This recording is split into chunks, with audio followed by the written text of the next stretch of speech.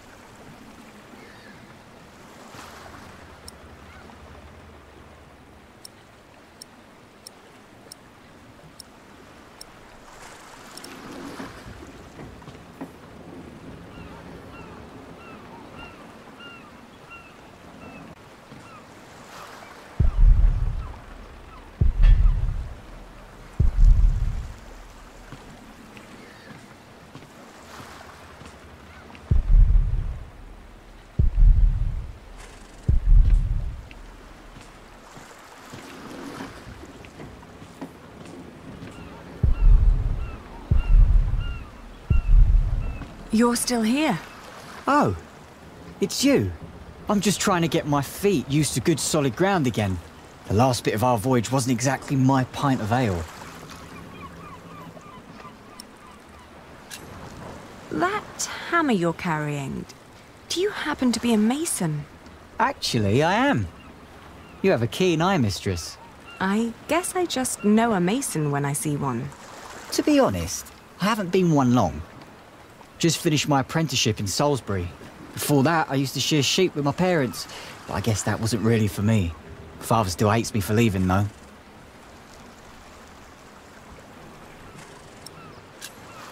What will you do to find work here as a mason? Don't know. That's for me to find out. All I heard was that the wages are better over here. So you'll just travel from town to town and look for employment? Right. And I'll start in Lessay. A fellow mason told me about the abbey there. He said these Normans build their churches quite differently than we do back home. I need to see that with my own eyes. Maybe learn a thing or two.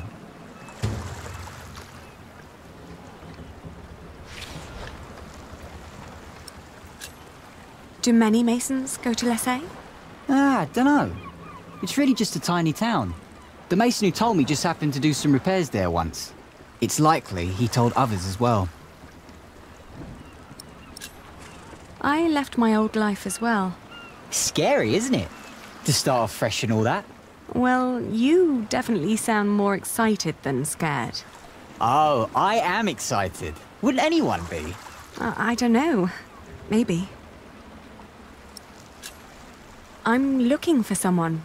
A red-haired mason called Jack Jackson. He came to France about a year ago or so. A fellow mason, great. Unfortunately, I wouldn't know a thing. After all, I just arrived here with you. I know, but should you meet someone like that on your journey, tell him Aliena of Shiring is looking for him. All right. Jack Jackson. I'll keep an eye out for you. Thank you. Have a safe journey. Oh, thank you. You too.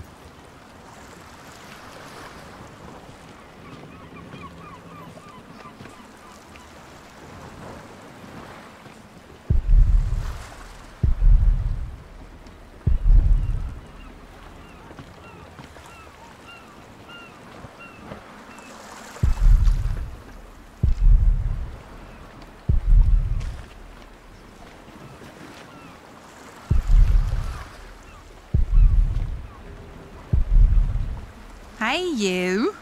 That's quite a bundle you got there. Where are you headed? Do you know the road to Lessay? Been there, seen it. But I hope you're not planning to go there on foot. Tell you what, you give me some coins and I'll treat you to me wagon. You can even change your destination once we're on the road, would you say? Have you seen a red-haired mason? You must have landed here sometime late last summer. Another ginger in Normandy? I wouldn't have noticed, even if he was carrying a hammer instead of a fishing rod. Maybe you should ask someone in Barfleur. That's where all the travellers come through, the pilgrims and kings. Their lot rarely lands in Cherbourg with the fortress passing back and forth between Stephen of Blois and Geoffrey of Anjou. Why you even came to Cherbourg in the first place baffles me. It was the earliest ship I could get. You must be in some hurry, madam. Let's just say I needed to get away before I changed my mind. Fine with me. Who am I to judge?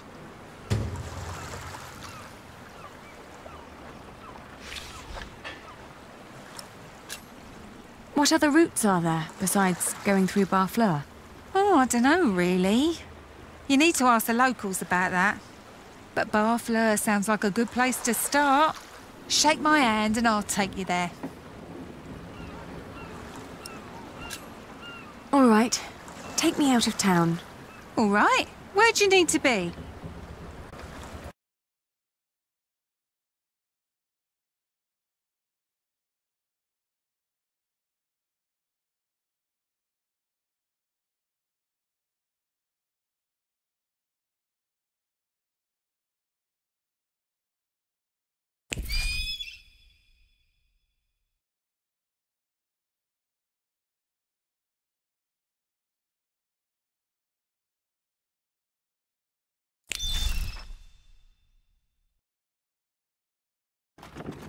We went to Barfleur, a scenic port town built on granite. It was the biggest harbour in Normandy and the main entry point for the Normans to their new possession of the Isle of England. I talked to some of the sailors and fishermen, but no one had remembered seeing Jack. How could they? Almost a year had passed since he, a simple mason, had journeyed through the busy town, a town with no memory other than that of the last king who passed through on yet another one of his violent conquests. Maybe I was approaching this the wrong way. What had drawn him to France in the first place? The distance to Kingsbridge? Or something specific? What was my lead?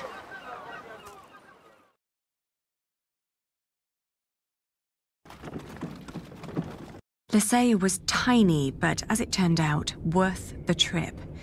In the small abbey church of the Trinity, I met a monk who claimed to have talked to a man fitting Jack's description. He'd been fascinated by the abbey's rib vaulting and had asked the monks countless questions about the place's construction. The monk apologized that he couldn't tell me where Jack had traveled next, but I didn't mind. I lay down to sleep on the floor of the Abbey guest house, and for the first time in almost a year, I felt relief. As I drifted into sleep, I hugged our baby tight and whispered into his tiny pink ear, We're going to find your daddy.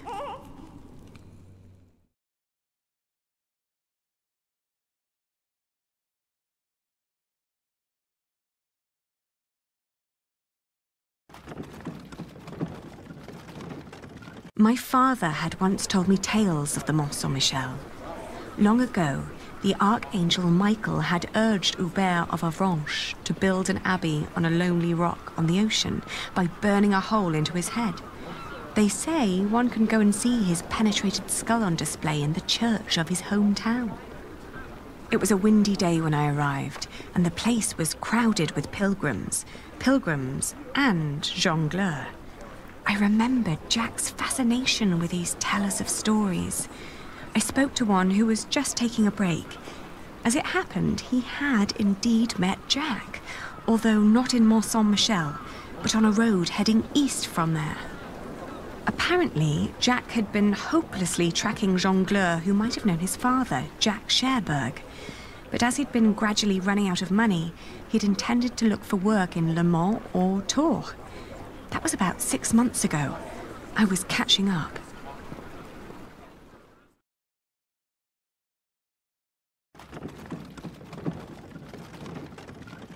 Going to Le Mans reminded me of all the trouble I'd left behind in England.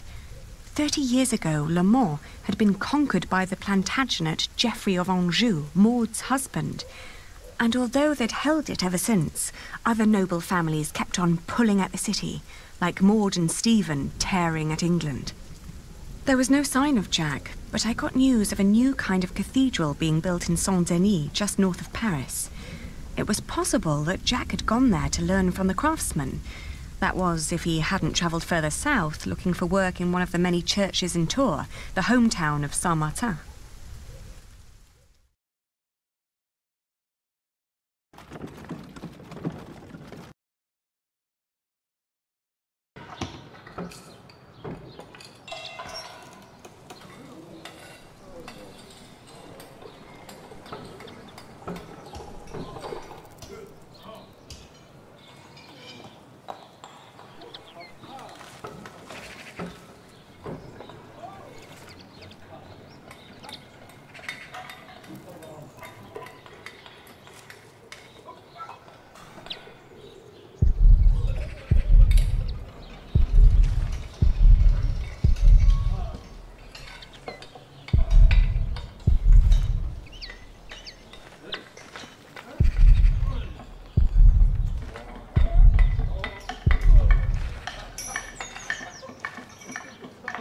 Good day. Are you the master builder? What is it? I'm looking for a mason who may have passed through here. An Englishman with carroty hair. He calls himself Jack Jackson. Hmm, A redhead? Yes. Did you see him? He might have asked for work here. No, no, I, I'm not looking for new masons. We're just doing repairs. Ah, but was he here? No, n- never seen him. Now, stand back, woman. Something could fall on your baby's head. Are there other construction sites around Tours? Well, yes, it's a big town. And where would an outsider most likely find a job? Dunno. Ask around.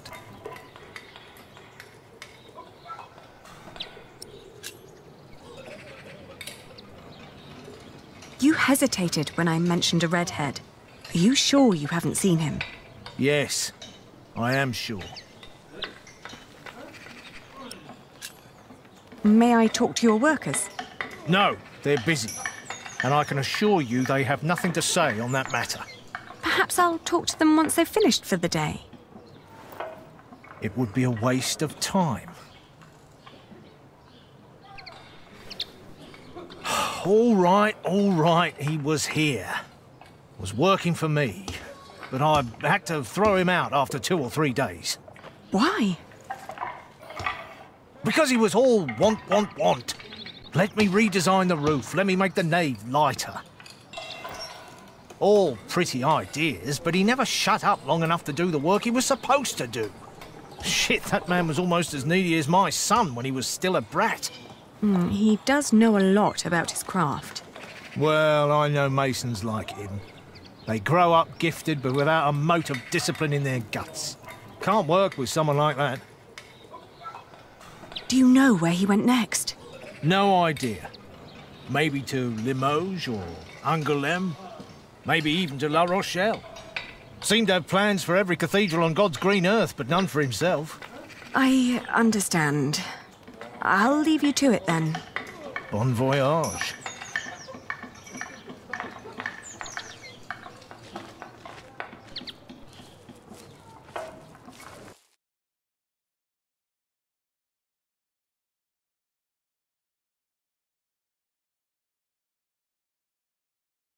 We had just left Tours when I suddenly felt dizzy. I stopped and made rest, trying to catch my breath, then lost my breakfast in a ditch at the side of the road. To my horror, our baby too had grown pale, his breath shallow like that of an old man.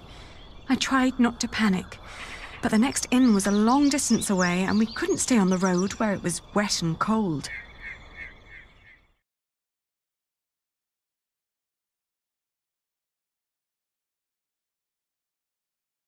I managed to walk until the sun had fully risen before I keeled over. A knife merchant who'd been travelling behind me flagged down a coach heading back to Tours and haggled with the coachman to carry me back to an inn.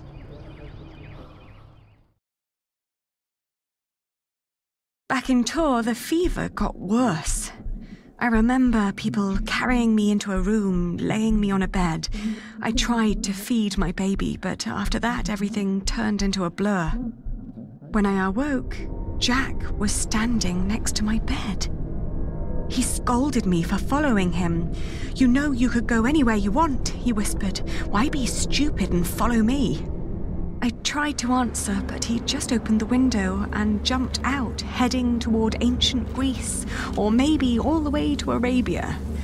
And in my feverish mind, I followed him.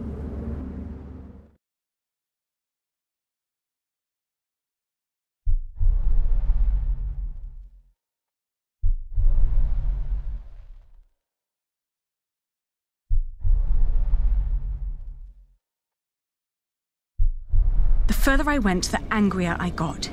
For years, I'd been fighting for my family. I'd committed myself to an oath to my father. I'd built up a business to sustain it and even married a man I despised so I could create a future for the people around me.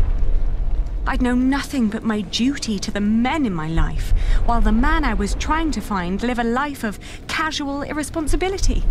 He travelled the world on a whim to learn about mathematics and philosophy, while I had to raise the child he'd fathered. When could I ever do anything just for myself? I asked the world as I went on.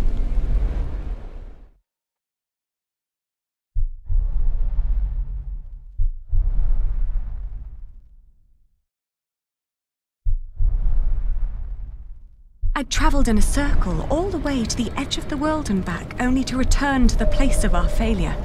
With my eyes closed, I listened to the sound of ripping yarn and crumbling walls, and of coaches carrying good people away into a cloud of crimson dust.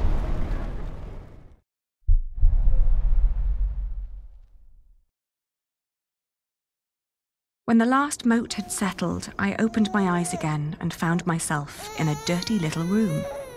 An old maid was sitting next to my bed and smiled at me, then handed me my baby. Oh, dear God, he still looked so pale. The more I tried to keep him warm, the colder he felt. Oh, please, God, let him live. Don't punish him for my own sins. I gently caressed his head until finally he put his mouth to my breast and drank and drank more and more, becoming greedier with every swallow. We had both been spared. We rested one more day. Then I gathered my things and headed back to the cathedral to thank the Lord for his mercy.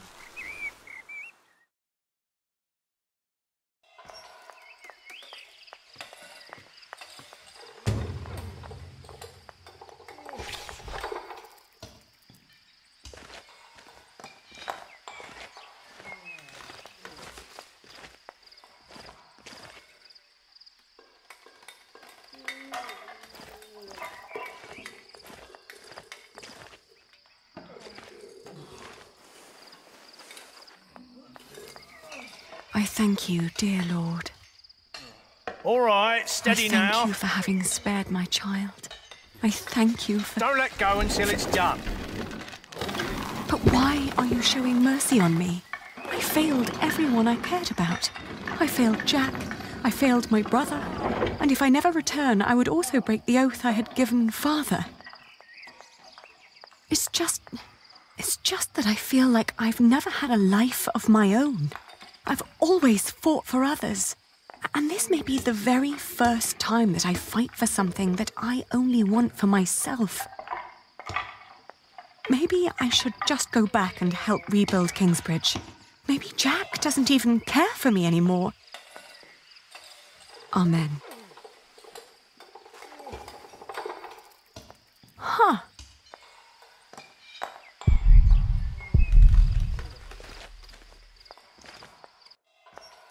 I've seen one of those before. It's amazing, isn't it? The man who did that really had it in him. I agree. He always did. Oh, you knew Master Jacques? Yes, but it's been a while since I last saw him. It's a shame that the master let him go. In just one month, he did so many things. The master builder said he'd fired him after just three days. Did he? Well, maybe that's how he remembers it. The two didn't really see eye to eye, you know? To tell you the truth, everyone thinks that he feared for his own job having someone like that around. The last thing Jack did was carve that corbel. It was the one thing the master let him do. Then, when he was done, he was asked to leave. Your master said he had no discipline. Let me tell you something. Jacques worked very hard on it. He was impatient and had a temper, but you could see that he tried to overcome it. Conquering that rock was very important to him. Oh, I understand that so well. Do you happen to know where he went next? He wanted to walk the pilgrim trail to Santiago de Compostela. The Camino? The Way of St. James? He said he might find someone there who knew his father. Just one more thing. How was he when he left? Hmm. Never thought about that. Relieved, I guess. He seemed ready for something new. Thank you so much for your help. Think nothing of it. And good luck on your travels. May you find what you are looking for.